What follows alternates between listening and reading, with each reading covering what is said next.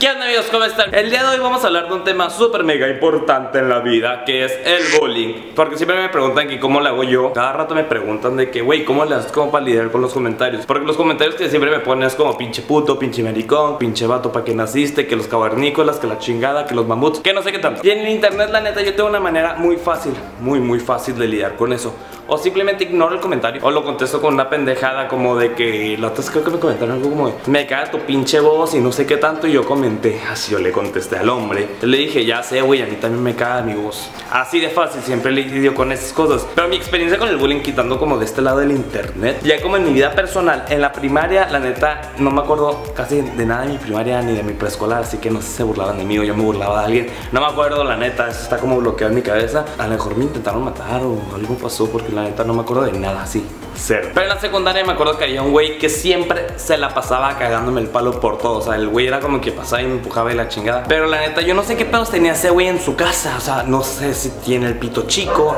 Un saludo a ese güey que ya ni me acuerdo cómo se llama. No sabía si sus papás están divorciados. Que la neta no lo veo. No sé si le pegaban.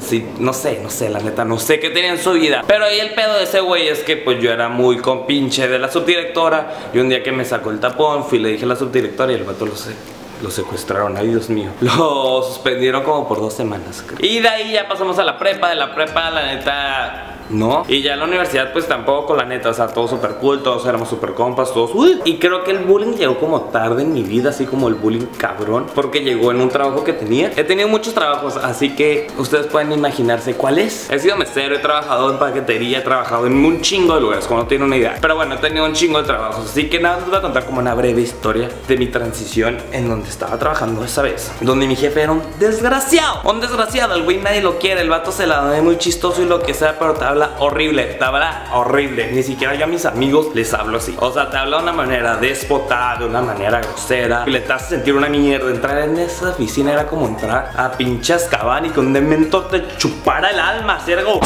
Literal, salía sin vida, salía sin energía, salía sin nada. Y la neta estaba súper culero porque el ambiente de trabajo estaba chido, pero ese güey no estaba nada chido. Y no sé cuál era su cura de tratar a todo el mundo como una mierda. No sé si siga tratando a la gente como mierda porque ya no tengo contacto con ese cabrón. Pero, o sea, no sé cuál era su cura, la neta. Y era como que, pues, es como de que yo intentaba dibujar la puta línea de respeto de que el vato me decía su pendejo y yo como que, ajá, como que lo tomó, como que me reía, como, ajá, pero yo también la estaba cagando y ahí ahorita va mi explicación de lo que debí de haber hecho. Ah, pues les digo, ese güey era un bullying hecho y derecho, como que no sé tampoco le sean sus pedos, pero el vato es un bullying que diga lo que quiera. Y pues que le quede el saco a quien le quede el saco. Pues yo me arrepiento porque yo siempre intenté dibujar una puta línea de respeto de que eres mi jefe, no voy a hablarte de la misma manera. Porque obviamente le puedo hablar así, le puedo hablar más feo. Como mucha gente aquí dice que soy un prepotente y un déspota, sí soy un déspota y un prepotente. Pero ese güey era mi jefe y no me, no me iba a poner a hablarle de la misma manera. Así que yo decidía dibujar una puta línea de respeto. Que este güey se la pasaba por hablar con el trunfo y se limpiaba el pinche culo con ella, ¿verdad? Porque le valía madres.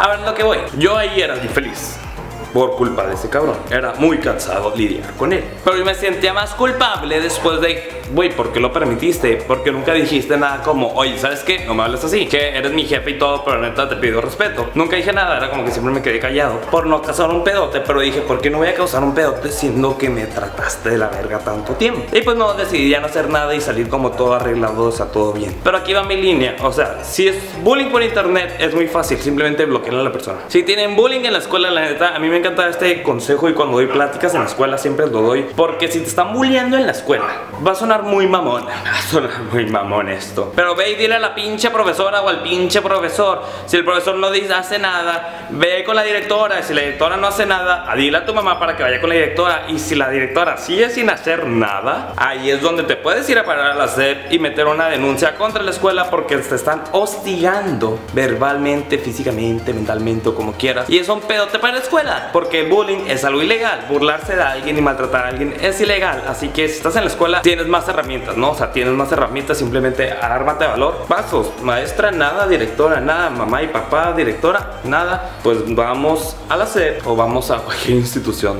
a la institución donde rija tu país, la educación, y van y meten una demanda y las escuelas hacen un pedote y así, les juro, así arreglan el pedo. Y en tu trabajo, si sientes que tu jefe es un desgraciado y prepotente y la neta no estás feliz, porque a lo mejor te puede súper bien, te puede ir muy bien. Pero si no estás feliz y te tratan de la verga, ¿qué haces ahí? Yo ya lo aprendí aprendí. Yo dije, jamás voy a volver a pasar por eso. Si me vuelve a tocar una persona como ese güey, como jefe, va a ser como muchas gracias, pero no. Mi salud mental está primero antes de seguir batallando. Yo sé que a veces el trabajo se necesita, pero les juro que es mejor buscar algo más y tener como una tranquilidad. ¡Cállate!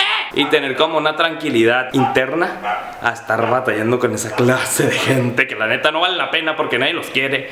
Y literalmente, o sea, nadie los quiere. ¿Cómo alguien va a querer a una persona así? Ni su mamá los ha de querer. O sea, simplemente piénsenlo. O sea, y también piensen qué tan basuras han de sentir ellos mismos para tener que hacer sentir mal a otras personas. O sea, yo siempre he pensado eso, por eso les digo que me da mucha lástima, esa, me da mucha lástima esa clase de gente porque es de, o tienes el pito chico, o tu vagina está muy fea, te pegaban de niño o algo así, o te maltrataban, como para tener que burlarte de los demás y hacerlos sentir menos para tú sentirte bien. O sea, pobrecitos, ¿no? O sea, pobrecitos, por eso les digo, o sea, siempre hay una solución en todo, siempre hay una solución, no hay que quedarnos callados y menos en esa clase de temas porque ese tipo de cosas perjudican bien cabrón. Y más fácil aún, si le están haciendo bullying en el trabajo, intente poner alto. No ponen, el alto, vas y levantas una queja sobre acoso laboral. ¡Pum! ¡Listo! Se arregló el pedo, se los aseguro. En chingas se arregla. En chingas se arregla. No tienen que saber nada más de la persona y se arregla en dos segundos. Bueno, amigos, y eso fue todo por el video de hoy. Espero que les haya gustado. Y si les gustó, dale un like. Si no te gustó, pues dale un dislike. Déjame aquí en los comentarios si te boleaban, qué hiciste para detenerlo y si eras el bully. ¿Por qué lo hacías? Tienes el pito chico, tienes la vagina deforme. Simplemente quiero saber por qué, por qué razón eres un pendejo. Recuerden suscribirse. Hay video nuevo cada martes y jueves. Martes son temas de vida. Jueves son tutoriales. Pero bueno, fue todo por el video de hoy y nos vemos hasta el jueves.